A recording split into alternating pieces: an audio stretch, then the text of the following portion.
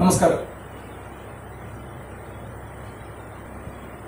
ഇന്ന് രാവിലെ എന്റെ ഒരു സുഹൃത്ത് ചോദിച്ചു ഡോക്ടറെ ഈ പറയുന്ന രീതിയിൽ മാസ്കിൽ നിന്നും സാനിറ്റൈസറിൽ നിന്നും സോഷ്യൽ ഡിസ്റ്റൻസിൽ നിന്നുമൊക്കെ എന്ന് നമുക്ക് രക്ഷപ്പെടാൻ പറ്റും? അതോ ഇനി പള്ളിയിൽ പോക്കും അമ്പലത്തിൽ പോക്കും ഒരുമിച്ചുള്ള സിനിമ കാണലൊക്കെ സ്വപ്നം മാത്രമായി വെറും വെബിനറിൽ മാത്രം നാം ജീവിക്കേണ്ടി വരുമോ? എന്ന് ചോദിച്ചത്. തമാശയായിട്ട് ഞാൻ കരുതിയെങ്കിൽ പോലും ഞാൻ വെറുതെ പറഞ്ഞു നമുക്ക് കൊറോണയുമായി പൊരുതി ജീവിക്കേണ്ടി വരും എന്ന് പറഞ്ഞു. പിന്നെ അതിനെ തുടർന്ന് കുറച്ച് കമന്റുകളെല്ലാം വന്നു. പിന്നെ അവസാനം ഞാൻ നിർത്തി. തമാശയ്ക്കാണ് ഞങ്ങൾ സംസാരിച്ചെങ്കിൽ പോലും ആ സംസാരം വളരെ ഗൗരവതരമായിട്ടുള്ള ഒരു പ്രശ്നമാണ് സമൂഹത്തിൽ ഉയർത്തിവരുന്നത് അത് ഓരോരുത്തരുടെയും ആശങ്ക തന്നെയാണ്. അപ്പോൾ അതിന് അർഹിക്കുന്ന ഒരു മറുപടി കൊടുക്കണമെന്ന് എനിക്ക് തോന്നി.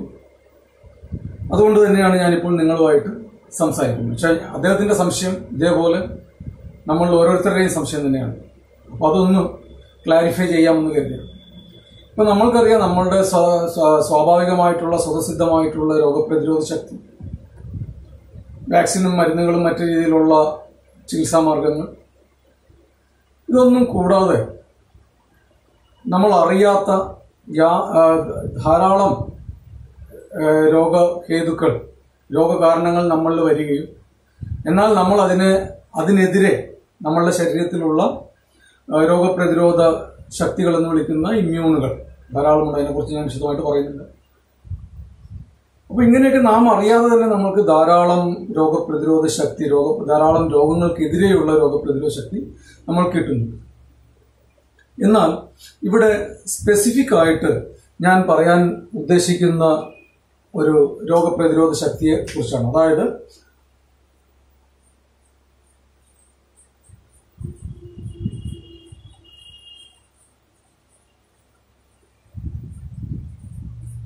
ഹേർഡ് ഇമ്മ്യൂണിറ്റി എന്ന് പറയുന്നു അതായത് കമ്മ്യൂണിറ്റി സ്പ്രെഡ് എന്ന് പറയുന്നത് പോലെ തന്നെ അതിന്റെ മറുവശം ഒരു കമ്മ്യൂണിറ്റി ഇമ്മ്യൂണിറ്റി എന്നുവെച്ചാൽ ഒരു സമൂഹത്തിലെ പൊതുവെയുള്ള ഒരു രോഗപ്രതിരോധ ശക്തി. ഒരു സമൂഹത്തിന് പൊതുവെ വളരെ ശക്തമായ രീതിയിലുള്ള രോഗപ്രതിരോധ ശക്തി സൃഷ്ടിച്ചെടുക്കുന്ന ഒരു അവസ്ഥയാണ് നമ്മൾ ഹേർഡ് ഇമ്മ്യൂണിറ്റി അഥവാ കമ്മ്യൂണിറ്റി ഇമ്മ്യൂണിറ്റി അഥവാ മാസ് ഇമ്മ്യൂണിറ്റി അല്ലെങ്കിൽ അഡാപ്റ്റീവ് ഇമ്മ്യൂണിറ്റി എന്നൊക്കെ പല പേരുകളിൽ നമുക്ക് പറയാം.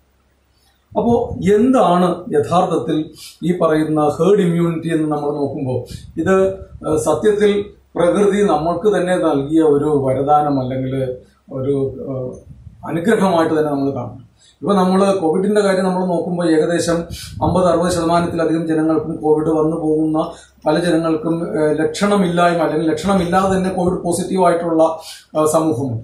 അപ്പോൾ അവർ ഇമ്യൂണോളജിക്കലി വളരെ കോമ്പിറ്റന്റ് ആയിട്ടുള്ള അല്ലെങ്കിൽ ഒരു പൊതുവേ ഉള്ള ഒരു ഹെൽത്തി ആയിട്ടുള്ള വ്യക്തികളിൽ ഈ പറയുന്ന രീതിയിലുള്ള ലക്ഷണം ഇല്ലായ്മ നമുക്ക് കാണാം. കാര്യം അപ്പോൾ ഒരു വ്യക്തിയിൽ ലക്ഷണം ഉണ്ടാവുന്നതും ലക്ഷണം ഇല്ലാതെ ഇരിക്കുന്നതിനും ഈ പറയുന്ന രീതിയിലുള്ള രോഗാണു അതിന്റെ രോഗഹേതു അതിന്റെ രോഗ തീവ്രത അതിന്റെ സ്വഭാവം അതിന്റെ മൾട്ടിപ്ലൈ ചെയ്യാനുള്ള പല ഘടകങ്ങളുണ്ട്.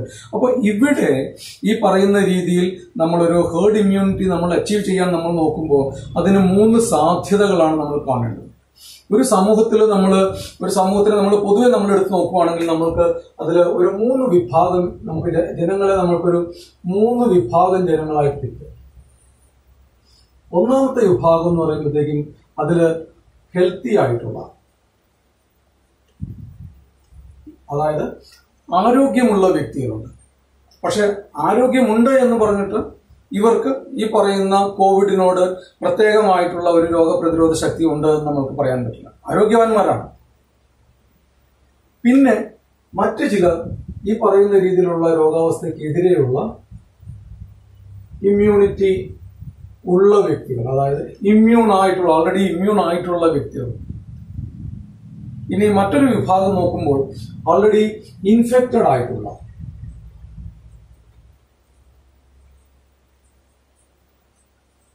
ഇൻഫെക്റ്റഡ് ആയിട്ടുള്ള വ്യക്തി. അപ്പോൾ ഇവർ ഹെൽത്തി ആണ് ബട്ട് നോട്ട് ഇമ്മ്യൂൺ ഇവർ ഇമ്മ്യൂൺ ആണ്. അതുകൊണ്ട് തന്നെ ഇങ്ങനെയുള്ള വ്യക്തികൾക്ക് no possibility possibility of infection or no possibility of spread മൂന്നാമത്തെ വ്യക്തികളാണ് ഈ പറയുന്ന രീതിയിൽ അവർ ഇൻഫെക്റ്റഡ് ആണ്.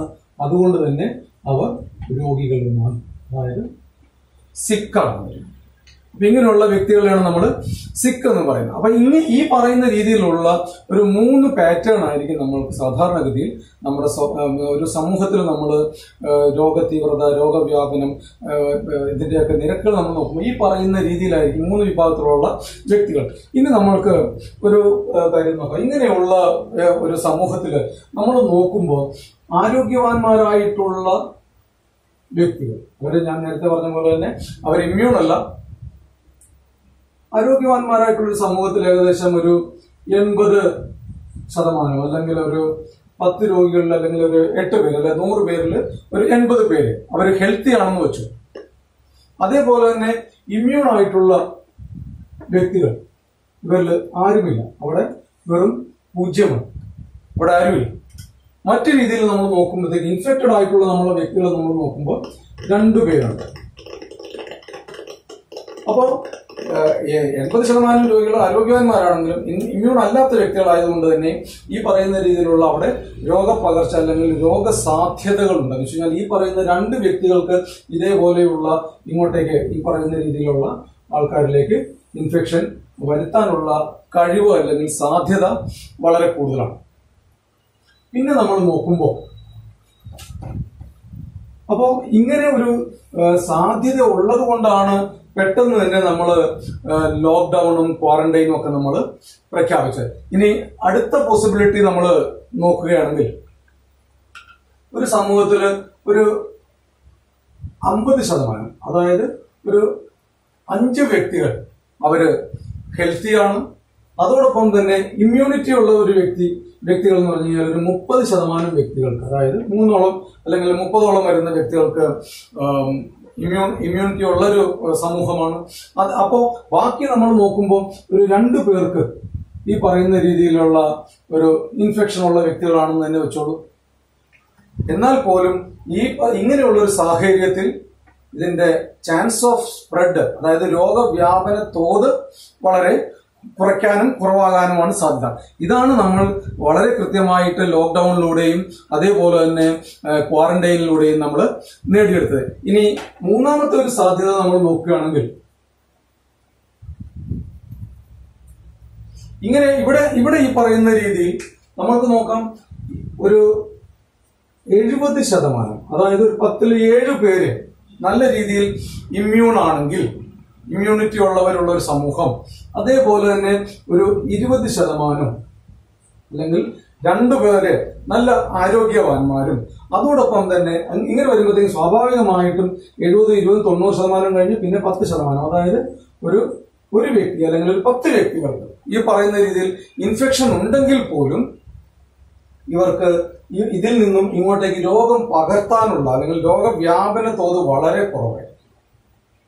അപ്പോൾ ഇങ്ങനെയുള്ള ഒരു സാഹചര്യമാണ് നമ്മൾ പ്രതീക്ഷിക്കുന്നത്. അതായത് ഈ പറയുന്ന ഇമ്മ്യൂൺ തലങ്ങളിലുള്ള വ്യക്തികളുടെ എണ്ണം കൂട്ടുക എന്നുള്ളതാണ് ഇപ്പോൾ ഗവൺമെന്റ് ഘട്ടം ഘട്ടമായിട്ട് നമ്മൾക്ക് ഇളവുകൾ തന്നുകൊണ്ട് നമ്മളുടെ ആരോഗ്യവാന്മാരായിട്ടുള്ള വ്യക്തികളെ സമൂഹത്തിലേക്ക് ഇറക്കി വിട്ട് നമ്മൾ ഈ കൊറോണയോട് നേരെ കൊറോണയെ നേരിട്ട് അല്ലെങ്കിൽ കോവിഡ് ജീവിതത്തിൽ നമ്മൾ ഇതിനോട് പൊരുതിക്കൊണ്ട് തന്നെ പൊരുതിക്കൊണ്ടും കരുതിക്കൊണ്ടും നമ്മൾ ഇതിനെ അതിജീവിക്ക അതിജീവിക്കും എന്നുള്ള ഒരു കാഴ്ചപ്പാടിലെത്തുന്നു. എന്തെന്നാൽ ഈ പറയുന്ന രീതിയിലുള്ള ഇമ്മ്യൂണിറ്റി വ്യക്തികൾ ഇമ്മ്യൂണിറ്റി ഉള്ള വ്യക്തികളുടെ എണ്ണം കൂട്ടുന്നതിനനുസരിച്ച് ഇതിന്റെ രോഗവ്യാപന തോത് കുറഞ്ഞു കുറഞ്ഞ് നമ്മൾക്ക് പൂർണമായും ഒരു ആരോഗ്യവാന്മാരായിട്ടുള്ള ഒരു സാഹചര്യത്തിലേക്ക് നമ്മൾക്ക് എത്താൻ പറ്റും. അപ്പോൾ ഇത് നമ്മൾക്ക് എങ്ങനെ നേടാം എന്ന് നമ്മൾ നോക്കുമ്പോഴത്തേക്കും ഞാൻ എന്റെ ആദ്യ വീഡിയോയിൽ ഞാൻ ഈ പറയുന്ന രീതിയിലുള്ള പൊതുവെയുള്ള രോഗപ്രതിരോധ ശക്തി നമ്മൾക്ക് എങ്ങനെ വർദ്ധിപ്പിക്കാമെന്ന് ഞാൻ പറഞ്ഞു ലൈഫ് സ്റ്റൈൽ മോഡിഫിക്കേഷൻ ഒക്കെ. അതിനെക്കുറിച്ചൊക്കെ വളരെ വ്യക്തമായിട്ട് നിങ്ങൾക്ക് എന്റെ വീഡിയോ നോക്കിയാൽ കാണാം. ഇനി അടുത്തത് നമ്മൾ ഈ പറയുന്ന രീതിയിലുള്ള ഇങ്ങനെയുള്ള വ്യക്തികളെ നമ്മൾ എക്സ്പോസ് ചെയ്യുമ്പോൾ ഇമ്മ്യൂണിറ്റി കുറഞ്ഞ അതായത് ഇമ്മ്യൂണോ കോംപ്രമൈസ്ഡ് ആയിട്ടുള്ള ചില വ്യക്തികൾക്ക് ചിലപ്പോൾ ഗുരുതരമായിട്ടുള്ള പ്രശ്നങ്ങൾ നമ്മളിപ്പം നേരിട്ടുകൊണ്ടിരിക്കുന്ന മരണ നിരക്ക് അതായത് ഡെത്ത് റേറ്റ് വളരെ കുറവാണ്. എന്നാൽ പോലും ഇങ്ങനെയുള്ള സാഹചര്യങ്ങൾ ഈ പറയുന്ന രീതിയിൽ ഡെത്ത് റേറ്റിനുള്ള സാധ്യതയുണ്ട്. പക്ഷെ എന്നാൽ പോലും നമുക്ക് ഈ ഒരു അവസ്ഥയിലേക്ക് നമ്മളെ നമുക്ക് ജനങ്ങളെ എല്ലാ കാലത്തും കൂട്ടിയിടാൻ പറ്റില്ല.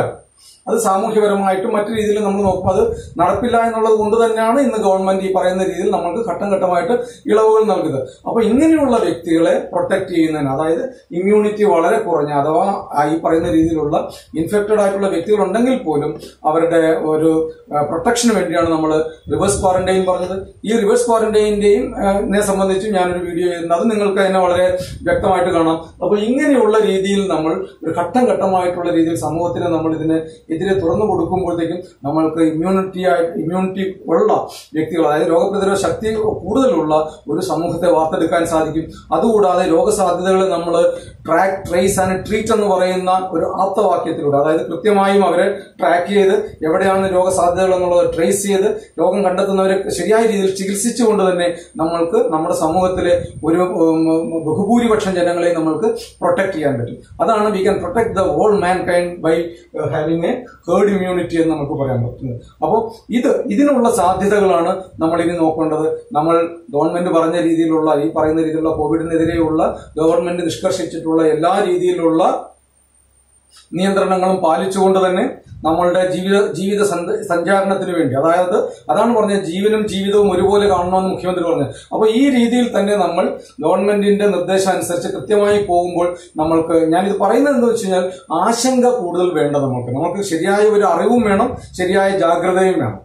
അപ്പോൾ ആശങ്കയിലൂടെ നമ്മൾ ഇരുന്ന് കഴിഞ്ഞാൽ നമുക്ക് എന്നും വീട് പൂട്ടിയിട്ട് പോ ഇരിക്കാൻ പറ്റത്തില്ലല്ലോ. അപ്പോൾ അതുകൊണ്ട് തന്നെ നമുക്ക് ആശങ്കയല്ല വേണ്ടത്. നമ്മൾ ശരിയായ രീതിയിലുള്ള ജാഗ്രത വേണം. ശരിയായ രീതിയിലുള്ള അറിവ് വേണം. ശരിയായ രീതിയിലുള്ള ചികിത്സ വേണം. ഇതെല്ലാം നമ്മൾക്ക് നേടിയെടുക്കാൻ പറ്റും. ഈ പറയുന്ന രീതിയിലുള്ള ഹേർഡ് ഇമ്മ്യൂണിറ്റി അത് ഉള്ളത് കൊണ്ട് തന്നെയാണ് ഗവൺമെന്റ് ഇങ്ങനെ ഒരു നിലപാടെടുത്തത്. അതുകൊണ്ട് എന്റെ സുഹൃത്തുക്കൾ ആ, ആശങ്കപ്പെടേണ്ട ഭയപ്പെടേണ്ട. നമ്മൾക്ക് ഈ പറയുന്ന കൊറോണയ്ക്കെതിരെ കോവിഡിനെതിരെ നമ്മൾക്ക് പൊരുതി കരുതി അതിജീവിക്കാം. എല്ലാവിധ ആശംസകളും. നന്ദി. നമസ്കാരം.